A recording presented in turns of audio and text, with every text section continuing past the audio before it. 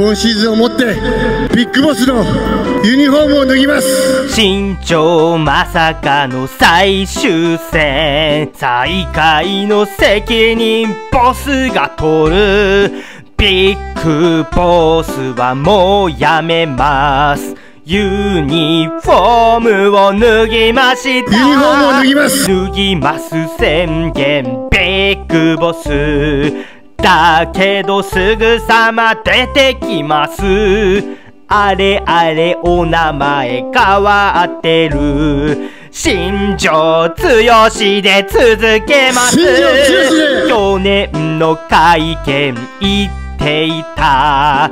優勝なんかは目指しません。だけど来年新庄は日本一だけ目指します。大型トレード新庄さん斎藤と江越取りました。斎藤抑えで使います。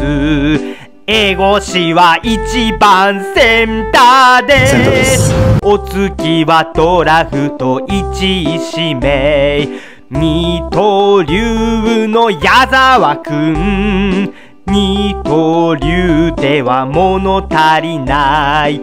四刀流させたいな。よろしくお願いします。新外国人欲しいのは長打力のある一塁手。村上宗隆記録抜く57本打てるやつ。デブってなんか人として情けない気がする。ちょっとデブじゃね？